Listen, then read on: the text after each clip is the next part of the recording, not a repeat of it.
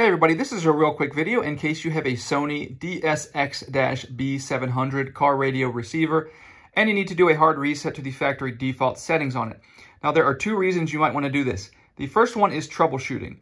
If your radio is not responding, if it's frozen, if it's not connecting to Bluetooth or not syncing with your device, or if you're having any kind of connectivity or functionality issues like this, a good way to fix it is to do a hard reset on it.